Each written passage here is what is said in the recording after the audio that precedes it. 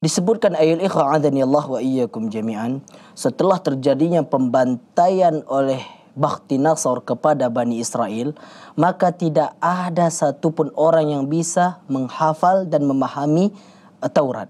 Karena pada saat itu uh, setelah kehilangan Taurat di permukaan bumi ini tidak ada lagi orang yang bisa memahaminya sampai disebutkan bahwasanya hanya tertinggal satu orang saja yang bisa membaca dan juga menghafalkan isi Taurat.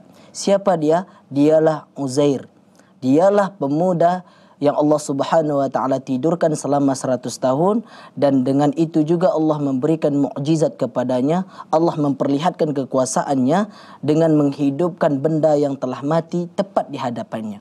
Ketika Uzair kembali ke kampung halamannya tidak ada yang mengenalinya. Karena pada saat itu mereka telah menjadi tua sedangkan Uzair masih dalam keadaan muda